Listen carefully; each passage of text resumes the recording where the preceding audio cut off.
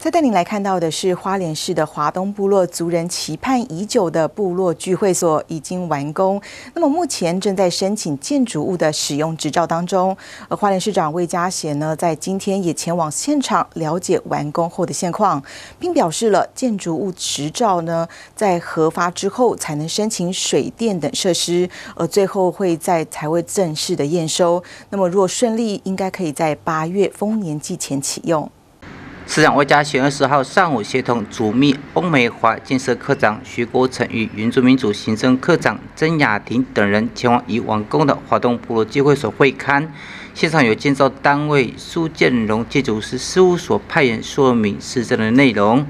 华东部落头目陈天胜以及民校里里长黄石贵。来表达关切，并且感谢花莲施工所与民意代表对聚会所新建的支持。整个工程的施作过程里面都还算是顺利。那总共工程经费是一千两百一十八万余元哈。那我们也谢谢过去在这边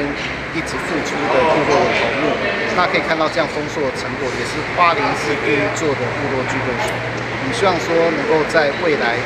呃启用的时候哈，因为最近有武汉肺炎的部分。我们希望能够到未来在八月份，如果来做启用的部分哈，能够让更多的人来了解到，也让部落的人能够一起来这里同欢共舞。那届时我们会邀请呃原住民会主委，还有花莲县的县长共同来主持这个一个非常重要的仪式。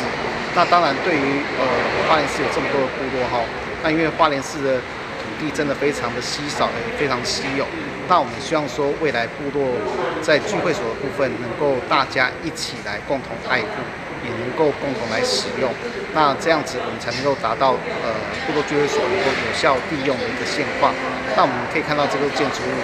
跟邻近的一个部落的一个特色建筑物来做一个呈现，可以很明显感受到部落的